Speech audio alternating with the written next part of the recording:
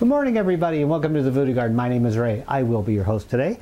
I'm getting rid of some plants, and uh, yeah, that's never a popular thing with my viewers, but it's a necessary thing, so I do it anyway. Um, I'm cutting some of the plants up, and I'm putting them in my compost pile outside, and, but some of the plants I'm going to feed to my goats. Yeah, I'm actually growing my own goat food in here. This is an agave. And I mentioned what an agave is. Uh, they grow it for uh, some kind of sugary sap, and they, I think they make uh, some kind of liquor out of it. But anyway, I'm going to take this thing out of the pot because I need the pot, I need the dirt, I need the space in the voodoo garden, and I already have another one growing way back there in the corner that is a lot bigger than this. And I don't need two of them. I only grew two to make sure that one of them survived. So I'm going to chop this one up, pull it up, and I'm just dying to see what the roots look like because they're growing so well I want to know what the roots look like in these, and that way it'll help educate me as to what this plant is all about. Sometimes we have to crack a few eggs in order to make an omelet, and uh, I, uh, I know it sounds really weird, but sometimes I'll take these plants apart because I want to know how they work, and uh, this uh, fascinates me. Uh, so I want to take this plant out of here, look at the root structure, and see because maybe this plant needs a, a, bigger pot. Maybe it has deeper roots. I don't know. I've never grown this before. I have no idea what's going on underneath the soil. So uh, I'm going to take this out of the soil and uh, take a look at it, and it'll help me when I'm growing that one. Also, my Christmas cactus, also known as holiday cactus, it flowered. it flowered for Halloween. Uh, yeah, this thing has no sense of rhyme or reason. I think in nature they they have a certain time period where they flower, but in uh, in a grow room situation, they really don't know what time of year it is, so they just start flowering all over the place. But I grew this from a few little cuttings many many years ago, and it grew really huge. I cut it back; it's growing big again, but I don't want to grow this anymore. I know it sounds weird, and some people are like, "Oh no, you really should grow it," but like I said, it's tough love, and some people don't like it, some people do like it, but I have to do what's best for me and what's best for the voodoo garden. I'm going to take a couple cuttings off of this and start it in a smaller pot and start back from zero because for me it's not actually getting to the finish line it's the the, the journey. And for me starting out really small and then growing really big that was the fun part. I've seen how big this thing can get all right? I, I, I got there. I want to play the game over again.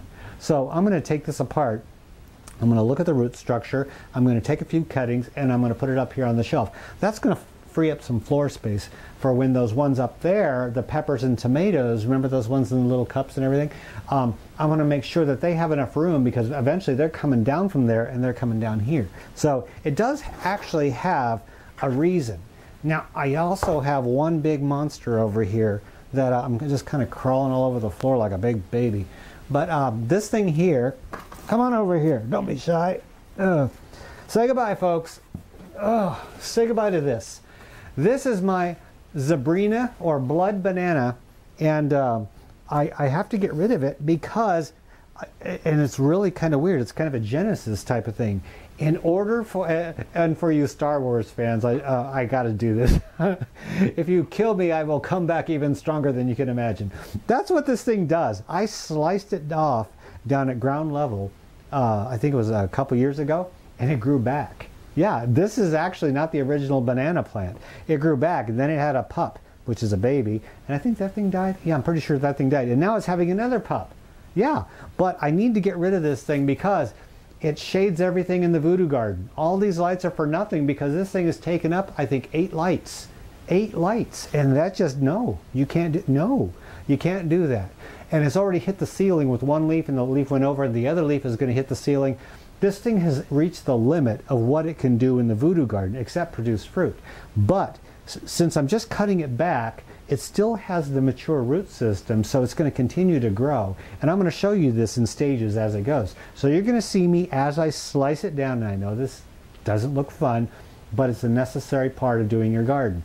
It's kind of like pruning your peppers uh, back. It doesn't look fun, uh, it's hard to do, but once you do it, you realize that it was a good thing that you did. So, come on over here, folks. It's, it's only going to hurt once, but it's going to be for the best. And I want you to see what this thing looks like up close as it grows, because this may encourage you if you ever need to do it in your house. Oh, wow, these things are decomposing right in the soil. It might help you uh, when you're growing your stuff. Come on over. Isn't that cute? A brand new banana plant grows out of the bottom. This is a common thing when your bananas get mature, they will start, and they get crowded in their pot, they will start putting out new babies at the bottom. So you have a choice. You can either get, let these things grow just a little bit more and then separate them from the parent. And I believe that's a matter of slicing down between these gently with a knife and then getting these things out with a little bit of root and putting them into a new pot. I think that's how it works. Now, there is a channel called Plants and Things, and uh, uh, this guy, he grows this stuff all day long, and he knows more about it than I do. So I've never actually done it, but I watched him do it, and it fascinated me. But I'm not going to be separating this. What I'm going to do is I'm just going to slice this off, let this one grow, and let this one grow. I figure, what the heck? Let's just have two of them. I've grown one, and I've grown them twice. Look at the thickness on this thing, though. It's thicker than my wrist, and I got an average sized wrist. Yeah, this thing is really, really thick, and it's sturdy as all heck. It grew really well in this soil inside, and when I got it, it was a little more than this size. It was just about maybe this tall. It was this itty bitty slip of a thing. I bought it from a seller on eBay, and uh, they are beautiful, beautiful plants, and they take very little care at all. But anyway, let's get down to business. What I'm going to do is just gently I know. But uh, I want to make sure that there's a clean cut. Now, once you slice this, it's going to have a lot of sap coming up, but that's okay. I don't use anything to seal it up. It'll eventually heal itself. All right? So now what we're going to do is we're going to slice. I use a very sharp knife and I just go around here like this. And I hold it steady so it doesn't just fall over and rip. You want to make sure that you're holding it steady. And you go through it don't hit the baby. There we go. Easy peasy, folks. Ooh, wow, look. It got brighter in here, didn't it? yes, it did. Look at that thing drip. Banana juice. Yep. Well, that thing is dripping all over the place, isn't it? And there's a lot of juice in there. Did you know? I, you probably did, but I'll tell you anyway every part of the banana plant, from the roots to the stem to the leaves to the banana to the banana peels, every part of it is edible and non-poisonous. Yep. And uh, so this is not a total waste. I mean, I'm not just throwing this plant away. This entire plant, from trunk to leaves, I'm feeding it to the goats. I researched it online. It's perfectly safe to uh, feed to goats. Yeah, you can use banana leaves for cooking, but I don't need them. I want to feed them to my goats. I love my animals. I care for my animals, and this is something that they're going to just love. It's it's almost wintertime out there. There's nothing else to eat out there. Everything's died. They're going to love this. Something a little bit tropical for my furry babies outside. I can't believe how bright it is in here. It has not been this bright in months. Wow smells like bananas in here. I know, you're, you're thinking, oh, well, duh, Ray, of course. But come on, how often do I get to sniff a banana stem? Not very often at all. This thing's just dripping like crazy. I'm just going to let it water itself for a while. So, uh, oh, wait a minute. I think it's done. Okay, well, problem solved. Let's set you off to the side. Now, I'm going to show you in upcoming episodes how this banana tree comes back from, well, supposedly from the dead, but this is actually a good thing to do. This banana tree is going to get better and better. It's going to just continue to, to grow and thrive in the voodoo garden. So this is not the end of the banana tree. It's just a change in the banana tree. Okay, keep that in mind. I didn't kill it. I'm actually helping it out in the long run. Ooh, ooh, ooh, ooh.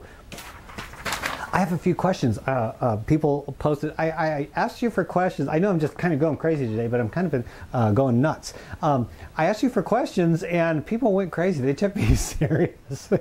And they started typing questions all over the place. So I'm going to do a little bit of stuff around here, but I'm also going to uh, answer your questions today because it's important that you get answers to your questions. You don't post them just to see yourself type. I'm going to go through these really quick and give you the answers uh, right off the top of my head. Okay, first one, Susan Alexander posted a question. Hi Ray, I love your channel. Thank you, Susan. Um, Hi Ray, I love your channel. My peace lily is wilting and I don't know why. What do you think? Um, Susan, uh, somebody actually asked me a question about a peace lily. I, I believe they're called spath Philium or something like that. I used to know all the names to these. I knew all the Latin names to all these indoor plants because the one thing you may not know, I, I, think I mentioned it once, I used to own an indoor foliage plant store. Yeah, in Denver. It was called Gumby's Garden. And um, I owned this for a while in, in uh, Denver and uh, it was fun. It was fun. Uh, I uh, just I was surrounded by greenery. I mean, it was the dream job for me. I would sell plants to people, talk to people all day long. I loved it. But I learned all the Latin names for these. But the common name is peace lily. A lot of you have seen these things in office buildings and stuff. They're very graceful, beautiful plants. You normally see them in a large pot. They got a stem and they got a big leaf at the top, stem, big leaf, and they're a beautiful dark green, like an emerald green. And then right in the center, you'll see a stem coming up and this white flower. You know what I'm talking about? The white flower? That's called a peace lily. And peace lilies are very easy to grow. And the reason that they're so popular is because you don't have to have full sun or bright light. They actually thrive in shade. So that way, indoors, anywhere you want to place them indoors, they're going to do just fine. But there's one trick that you need to learn, and a lot of people don't know this about peace lilies. People get the information that they're moisture loving plants. Well, they are mo moisture loving plants, but there's a trick to this. They don't like to have their roots wet. You may, you may be thinking, well, that doesn't make sense. Well, actually, it does. Peace lilies love growing in well-drained, rich soil. Now, there, there's the key, all right, Susan, and everybody else that wants to try this. It has to be well-drained soil. You can't just use regular potting mix. That's not going to work. You put in regular potting mix and then you grow a piece of lily and you give it all kinds of water. That's going to kill it. And that's why a lot of these will wilt. People think, well, it's not getting enough water. They pour on more water. Well, it wilts even more and they pour on more water because they think it needs more water. Well, it doesn't. It doesn't need more water. And then some people will not water it and let it dry out. Well, if you let a piece of lily dry out, you're going to kill it because it doesn't like to be dry. So you you know you're, you're thinking right now, okay, well that's just too difficult. No, it's actually very very simple, and let me explain how. Get yourself some potting soil, whatever kind you want to use, and get yourself some vermiculite. You can use perlite or vermiculite. I prefer using vermiculite because uh, it just seems to work the best for me. Vermiculite takes water, holds water, but it also drains it away. It's kind of like a sponge but it's a natural sponge. It's a mined mineral, and no, there is no asbestos in it. Some people think that a vermiculite has asbestos in it. Well, it doesn't. There was only one mine that had asbestos in the vermiculite. It was the Libby mine, and I think it was in Idaho or Iowa. Oh, no, not Idaho. Idaho or somewhere over there. But they don't do that anymore, okay? So vermiculite is 100% perfectly safe to use. And I suggest using the larger vermiculite. It comes in different grades, fine, medium, and coarse. The coarser, the better.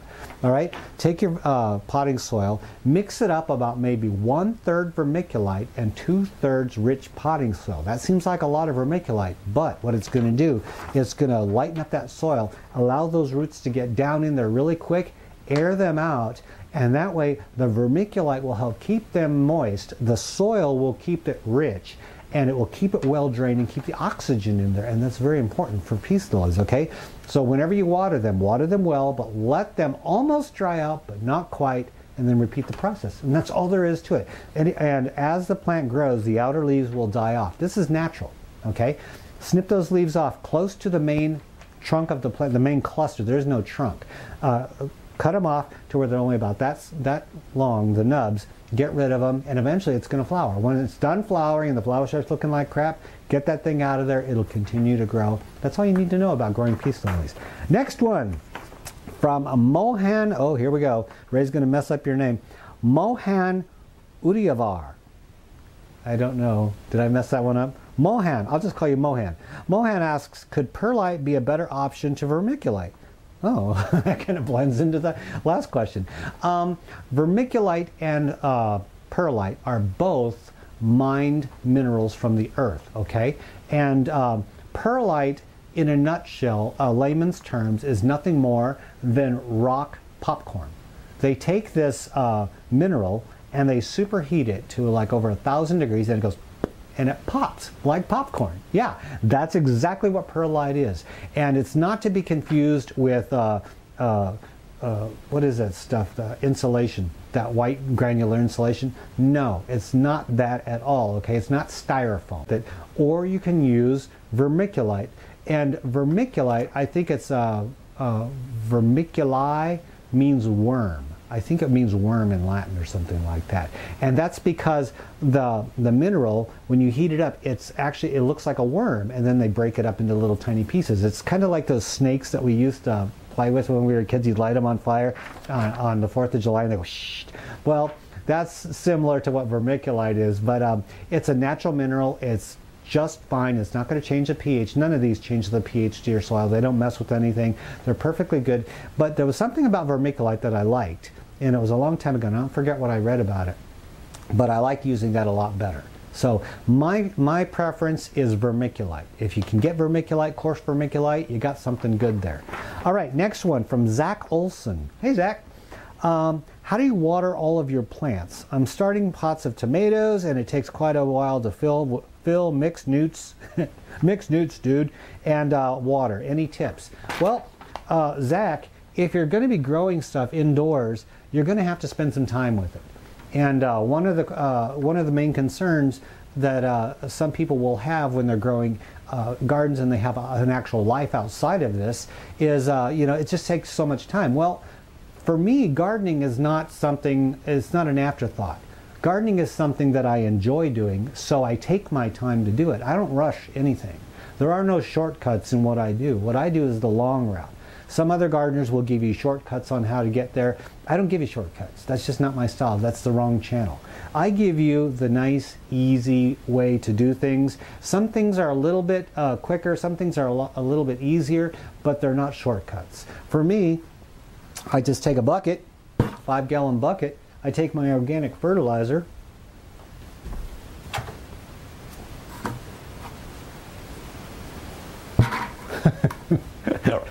okay, wrong bucket. Uh, I take my bucket, I take my organic fertilizer, and I've used different organic fertilizers throughout the years. I used to mix my own out of all kinds of different stuff, and that was fun.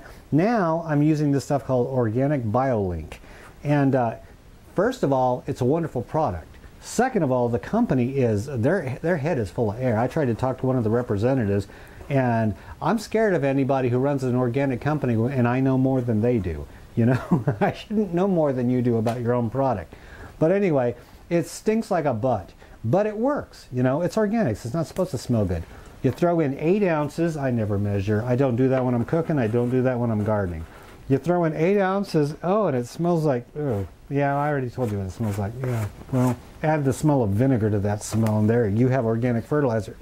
It doesn't smell good, but then again, the plants aren't. They don't have noses. They don't care. And a lot of the of the organic fertilizers that you're going to buy, they're going to have like pulverized fish. They're going to have all kinds of like manures. They're going to have hydrolyzed this and that. It's going to reek. You know nature is a weird cannibalistic thing and it's not pretty when you're looking at it, okay?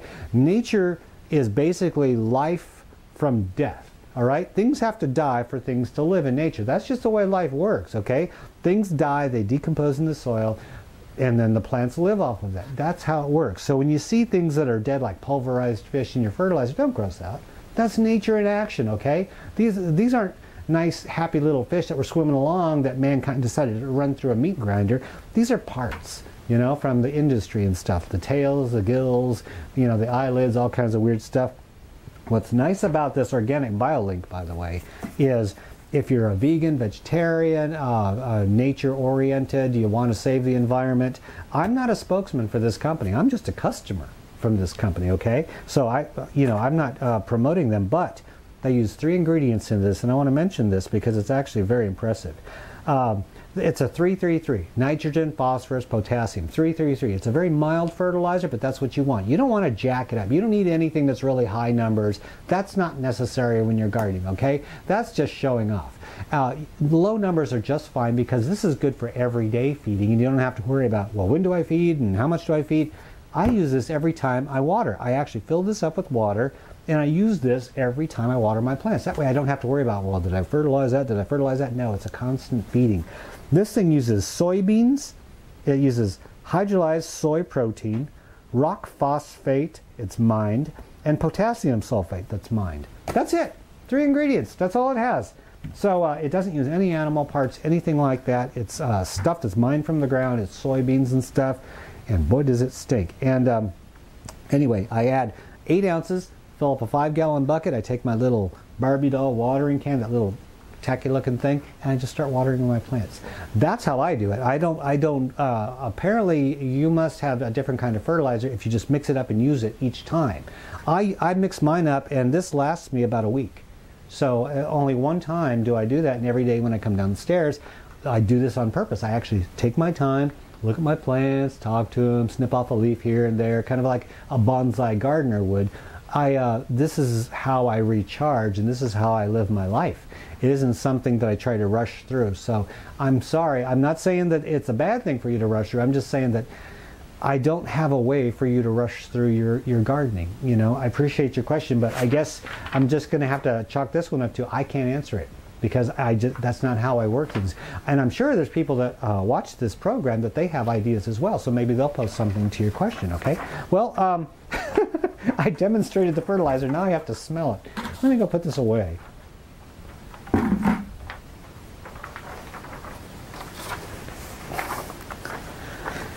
Okay.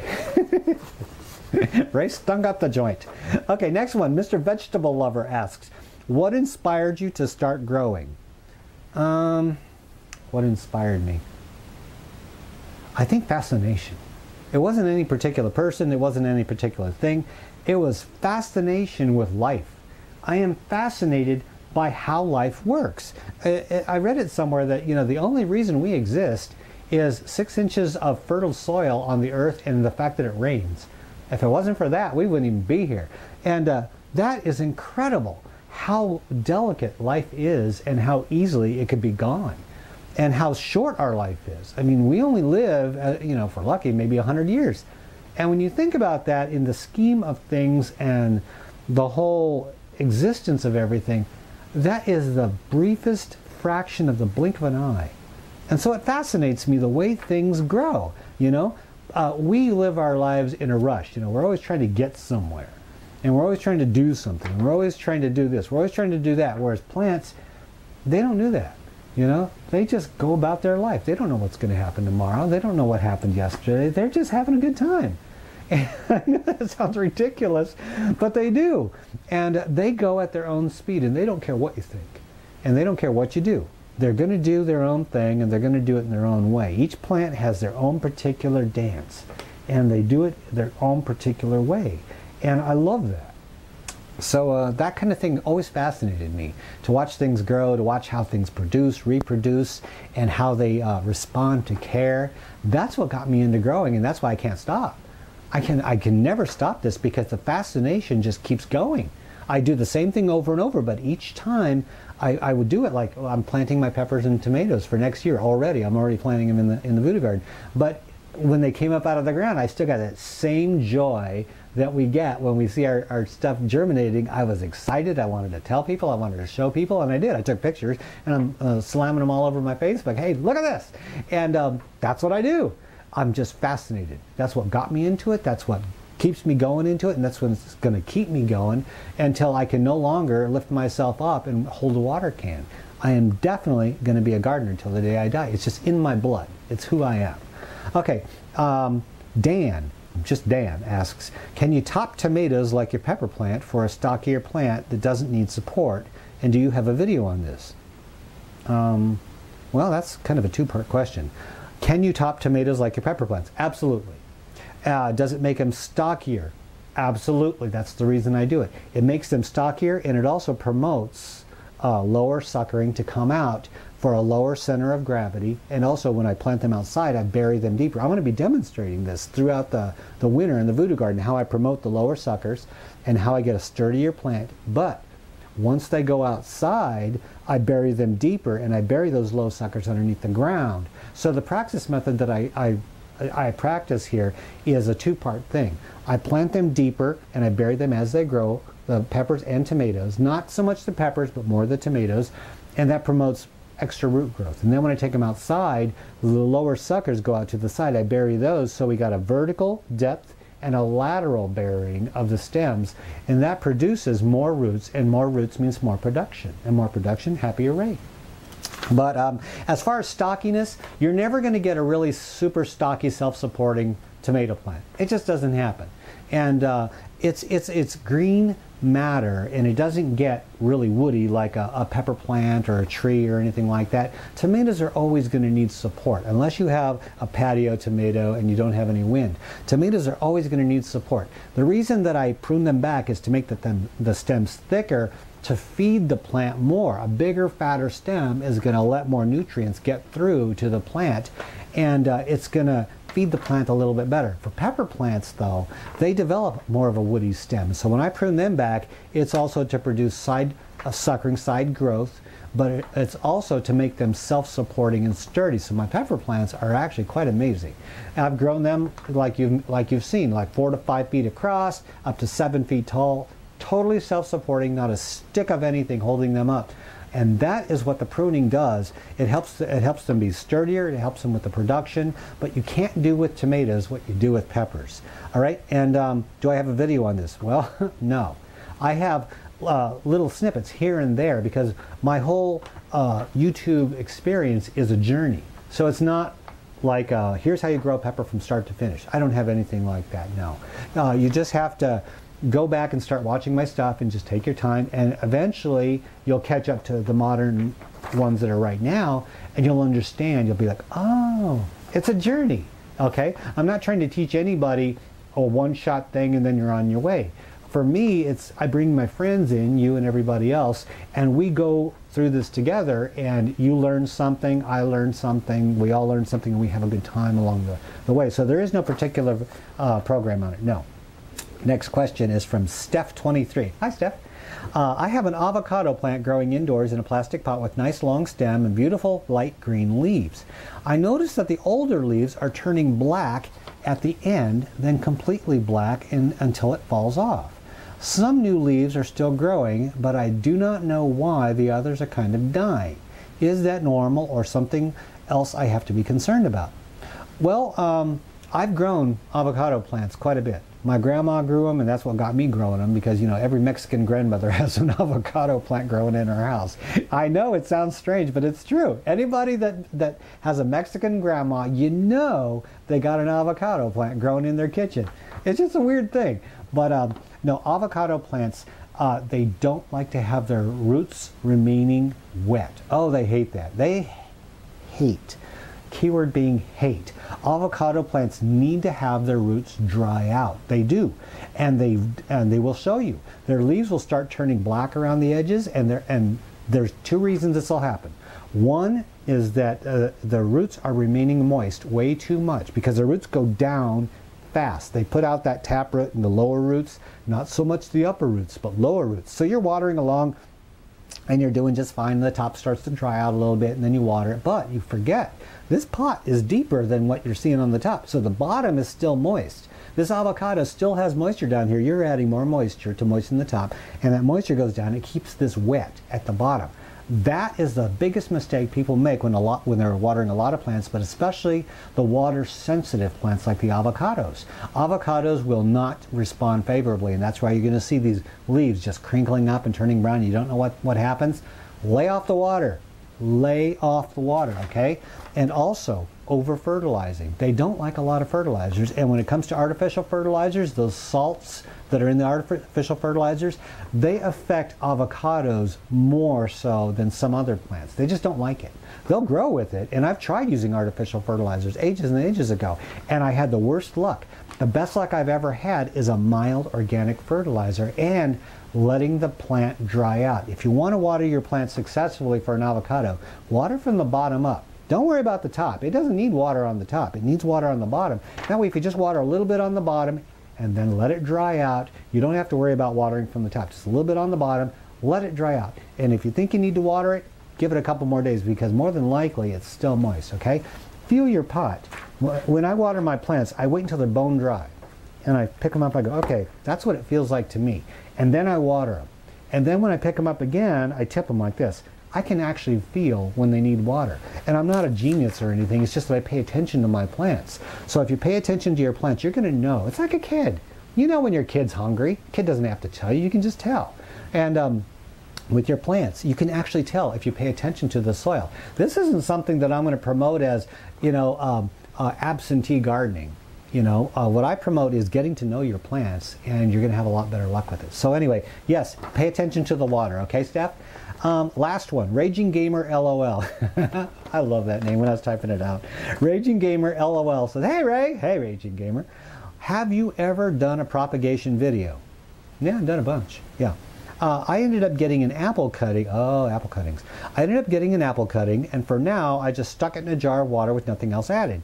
I've just seen videos saying to put a root hormone on the base and stick it in the dirt and water.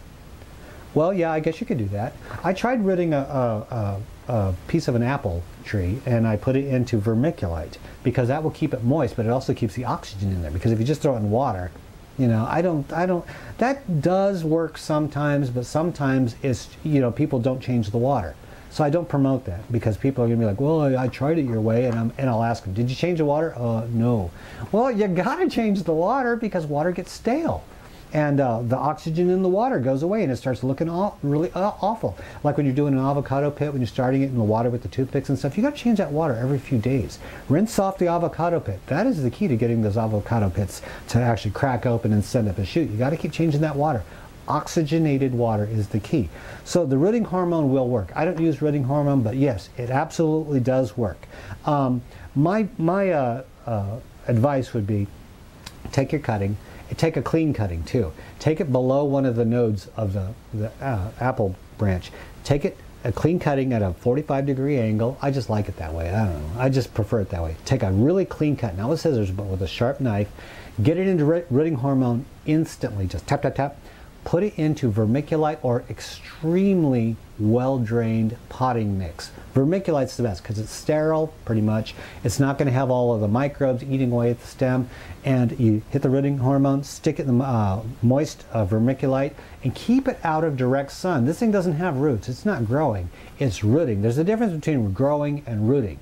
Okay, so you want it to root before it grows. So put it in deflected sunlight in like bright shade in your house and leave it there for probably a few weeks and let it root first, okay? And take off all but the upper leaves because it has to support those leaves and it can't do that with no roots. It's hard to do. So the more leaves you take off, the better.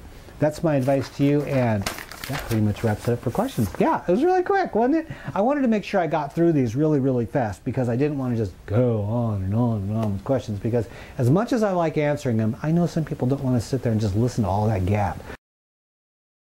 uh, it stinks in here. I had to clip the video and get that bucket away from me. It just reeked. But anyway, thank you everybody for joining me on the Voodoo Garden. I think that pretty much wraps it up. If you have any questions concerning your indoor garden or indoor gardening needs, post it in the comment section below this video and I will be sure to answer your question as quickly and as best as I possibly can. And um, until next time, this is Ray in the Voodoo Garden. I'm out of here. Okay, time to feed the goats. Don't you just love it? Yep, it's bananas today, Mr. Goat. Hey, get out of my way. Come on.